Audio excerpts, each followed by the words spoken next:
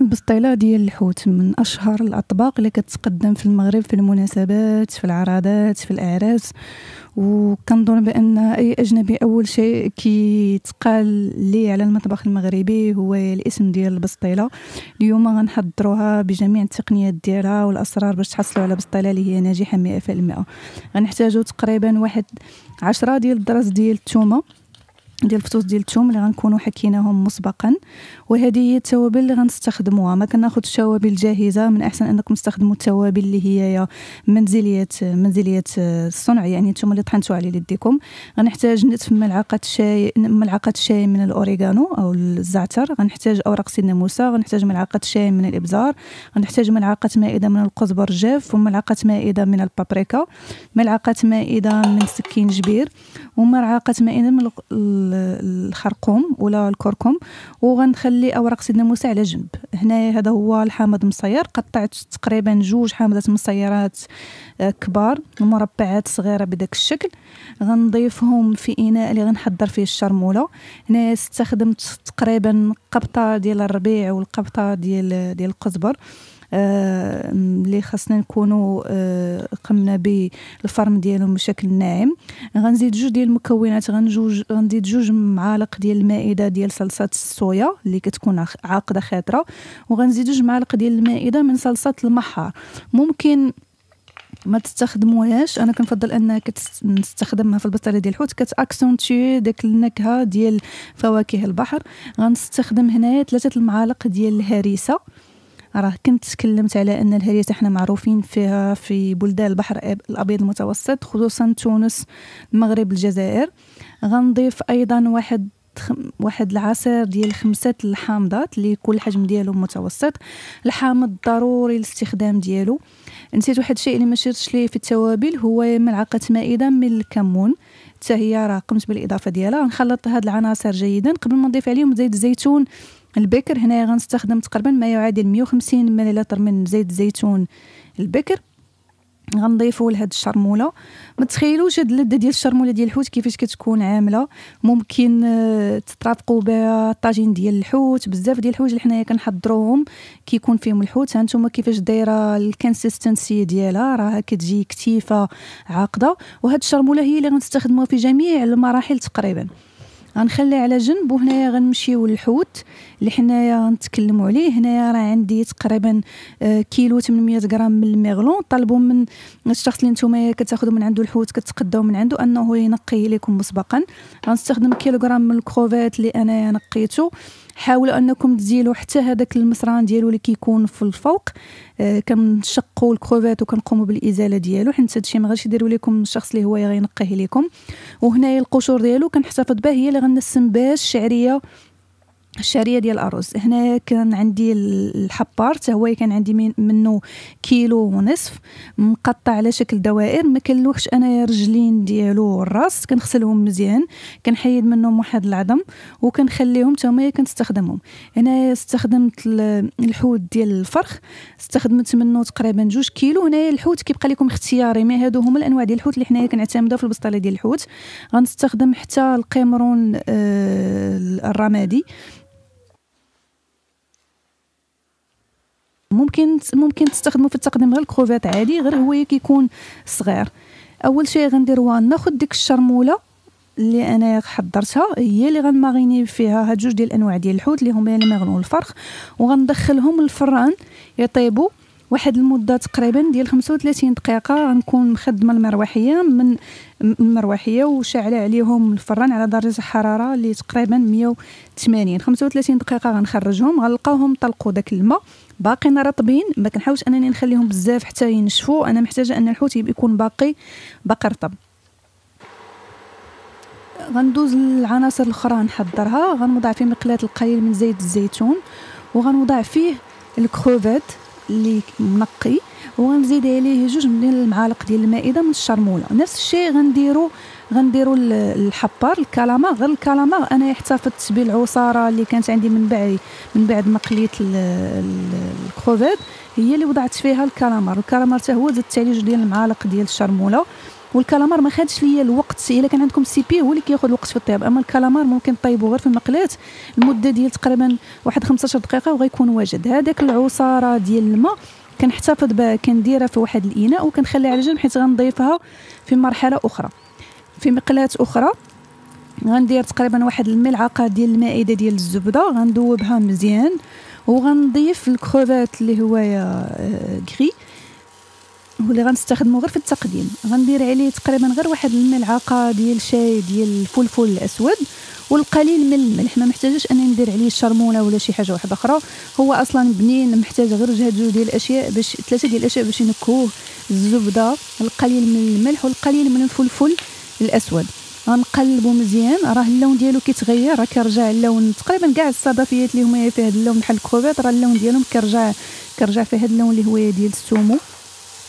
كنقوم بالإزالة ديالو من فوق النار. في واحد القدر اللي عالي غنضيف غنضيف الماء اللي شوية يكون غالي وغنضيف ديك القشور ديال الكروفيت اللي ما لحتاجش غنخليها حتى تغلى وغنصفيها.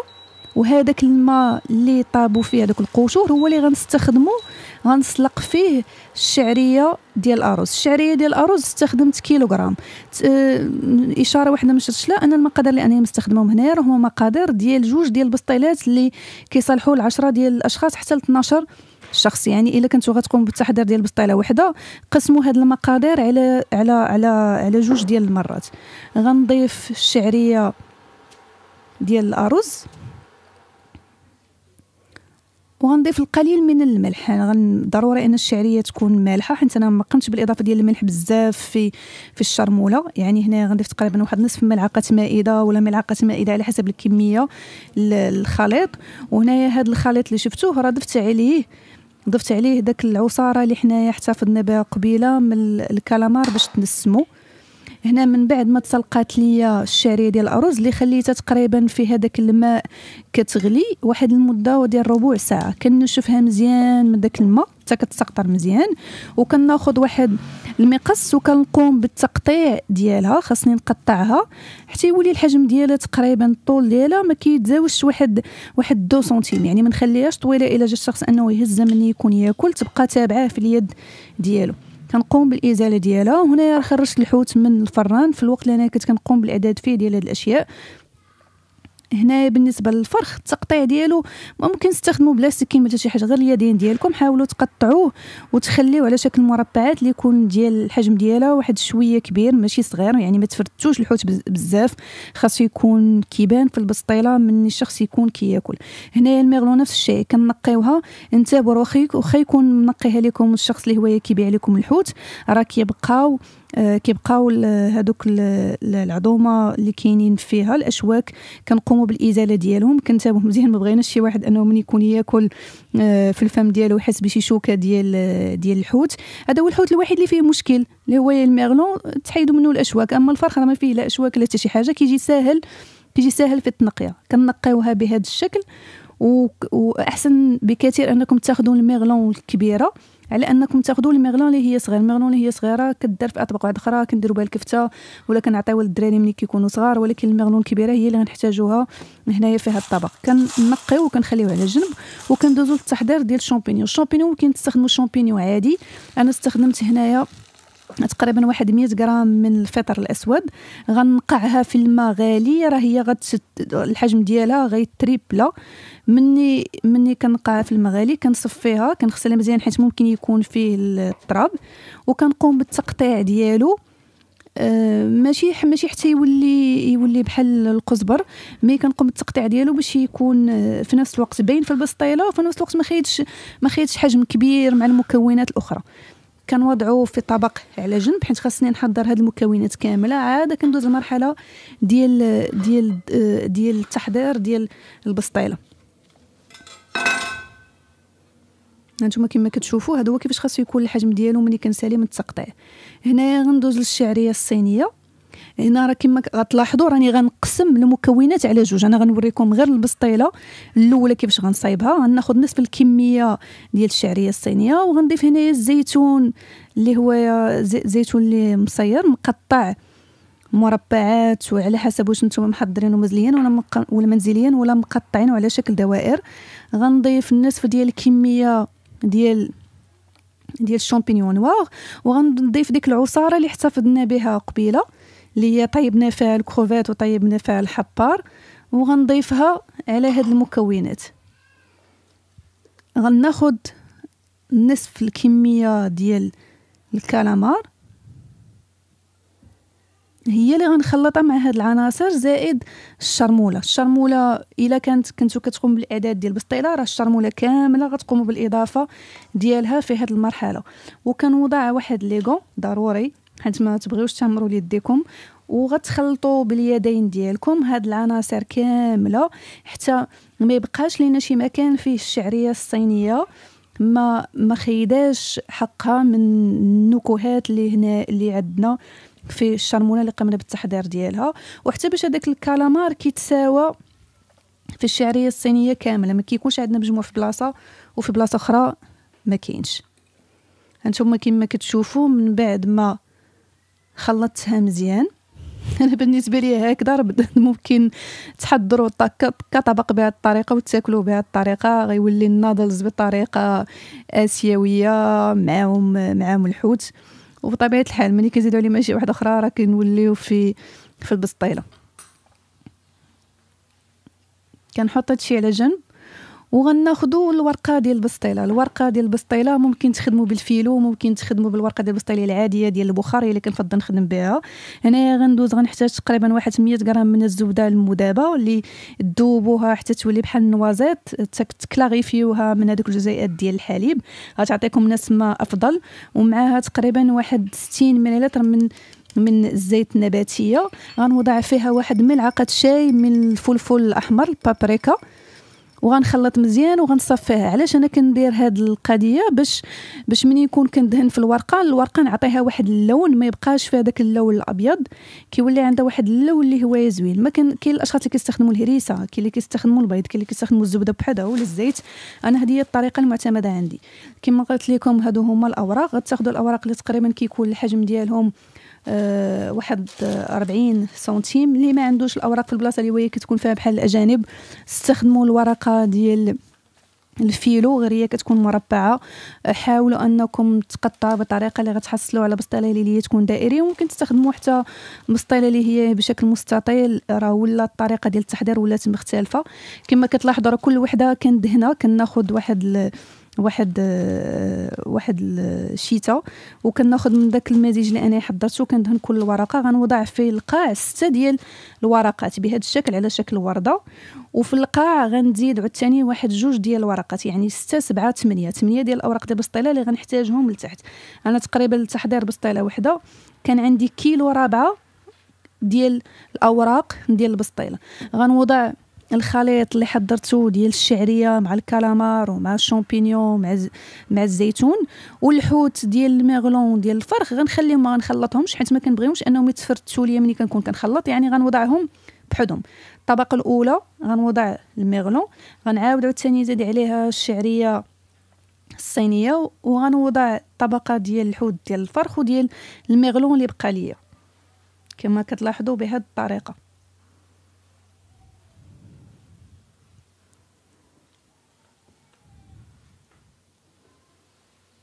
غنوضع عاوتاني كمية من الشعرية ديال الأرز. وغنوضع ما تبقى. عندي من الحوت اللي هو ال crevettes. ال crevettes ديما كنوضعو الفوق. أنا ما كنستخدمش نهائيا الجبن وضد فكرة استخدام الجبن في البسطيلة ديال ديال الحوت. ممكن بزاف ديال الأشخاص يستخدموها ما كنبغيش أن نكهة أخرى اللي هي بحال النكهه ديال ال fromage طغى على نكهة اللي هي أساسية اللي هي ديال الحوت. البسطيلة ديال الحوت عمرها في أول ما تصايبات ما تصايباتش بالفرماج صايبات بهذه الطريقة. حنا ضفنا على مكونات واحدة أخرى اللي ما كانوش أصلا في المكونات ديال البسطيلة ديال ديال الحوت. ما يمكنش نضيف على مكون واحد اخر اللي هو غيغير النكهه تماما. آه غيعلكها. ولكن ما غاديش يبقى لنا في الفم ديالنا ديك النكهة اللي هي اللي هي الأصلية ديال ديال الحوت. ما كنبغيوش في الطبخ. ضروري ان الأشخاص يفهموا بأن كاين نكهات اللي ما كتلاقاش مع بعضياتها واللي كتغطي على بعضياتها. ما كتكونش كتجي مع بعضياتها. الفرماج مع الحوت الفرماج كيطغى على على الطعم ديال الحوت وفي العود اللي أننا نتبنوا الحوت في الفم ديالنا. كنوليو نتبنوا الفرماج أكثر ما كنتبنوا الحوت. هنايا غنزينها على شكل وردة. ممكن تحتاجوا غير كيلو تقريبا ديال ديال الورقة. أنا حين استخدمت هاد الطريقة ديال التزيين حتاج مني تقريبا كيلو ربعه ديال الورقة. كنشد الورقة كنبليها وكنوضعها بهذا الشكل حتى كنكمل الدورة. راه مني سديت البسطيلة راه وضعت ورقة الفوق وعاده زينتها بهذه الطريقة. هنا غناخذ واحد واحد المقص وغنقطع الزائد منها. وهذاك اللي بقى ليا من من الزيت مع آه مع الزبدة السائلة مع الفلفل الأحمر كنشدو كندهن به المسطيله من الفوق. وهذاك الوسط كنشكل كنقطع فيهم القليل من هذاك الشيء ديال البسطيله اللي كان عندي. وكندخلها للفران كنغطيها بورق ديال الالومنيوم وكندخلها للفران تقريبا واحد المدة ديال 50 دقيقة حتى ل 60 دقيقة. شاعلة عليها من التحت حتى كطيب ليا من التحت مزيان وكتحمر. عادة كنحيد على الورق ديال الالومنيوم من الفوق وكنخليها تكمل تحمر ديالها من الفوق. هانتوما كما كتشوفوا من بعد ما خرجات أنا وضعت ورق ديال الطهي في هذا الإناء اللي هو دائري طالع 45 سنتيم في القطر ديالو باش يعاوني أنني مني نبغي نقوم بالإزالة ديالها في, في طبق ديال التقديم هو هذا. طبق ديال الطوس المغربي المعروف عندنا. كنقوم بالإزالة ديالها بطريقه اللي هي سهلة. بالنسبة للأشخاص اللي غيطيبوها في طبق اللي هو اللي هو مستدير ولكن ما عندوش هذيك الجوانب طالعة بلا ما يديروا الورق ديال الطهيرة غيكون سهلة الإزالة ديالها. هنا من بعد ما حطيتها طريقة التزيين كتبقى لكم نتوما. كاين اللي كيزينها بالفرماج كاين اللي كيزينها ب les tomates cerises كاين اللي كيزينها بزاف ديال الأشياء. أنا هي طريقة التزيين ديالي بسيطة. كنستخدم هذاك ال calamar ال crevettes grises اللي اللي حضرناه مسبقا وكنوضعو في الوجه ديالها حامضة على شكل وردة في الوسط و les rondelles ديال الحامض اربعه غنستخدمهم بهذا الشكل وكتقدموها بالصحة والراحه ما كنوضعش الخص لتحت بكل بساطة ما كنبغيش أنه يسرد البسطيلة كنبغيها انها تكون باقا محتفظة على ديك القرمشة ديال ديال الورقة وكون متأكدين أن الزبدة والزيت والدهن ديال الأوراق أثناء اللف ديال البسطيلة كيخليها انها تبقى محتفظة على ديك القرمشة ديالها. آه، أطباق مغربية أصيلة عندنا في المطبخ المغربي وأنا متأكدة في هذه القناة أننا غنتعرفوا على بزاف ديال الأطباق اللي هي أصيلة من المطبخ المغربي. كنفتخروا أنها عندنا وكنفتخروا أن المطبخ المغربي فيه التنوع آه، ديال الأطباق كاملين. وعندنا الحق أن نقولوا بأن بأن من أجمل المطابخ العالمية هي المطبخ المغربي. وكدليل على هذا الشيء هو التنوع اللي عندنا في طرق التقديم في طرق الإعداد. والبسطيلة هي نوع من الأنواع اللي ممكن أشخاص يستخدموا فيها يستخدموا الحوت بطريقة اللي مغايرة تماما كيف ممكن برا الناس يأكلوا الحوت. الناس برا كيأكلوا الحوت بواحد الطريقة اللي هي عادية في المغرب. الا مشينا من مكان لمكان غنلقاو 100 طريقة وطريقة لإعداد لإعداد السمك. هذه طريقة وحدة وحدة اللي هي طريقة راقية. وهذا الطبق هو طبق اللي حنا كنقدموه في العراضات كنقدموه كنقدموه في المناسبات. ما كاينش شي عرس ممكن يدار في المغرب بدون ما تكون فيه البسطيلة ديال الحوت ولا البسطيلة ديال الدجاج. وحدة فيه هاد الجوج. آه، marque déposée ديال les Marocains. وحنا كنفتخروا بها نتوما كما كتشوفوا أنا قطعت لكم ضروري باش تشوفوا الداخل ديالي كيفاش داير. تمنيتكم لو تكونوا هنا باش تشوفوا كيفاش عاملة. كنتمنى أن هذا الفيديو ديال اليوم يكون نال الاستحسان ديالكم. اللي كيشاهدني لأول مرة كانت معكم بريم في القناة يشترك ويفعل زر ديال الجرس باش يوصلوا كل جديد وأنا نقول لكم نشوفكم في فيديو جديد مع وصفة جديدة إن شاء الله عما قريب.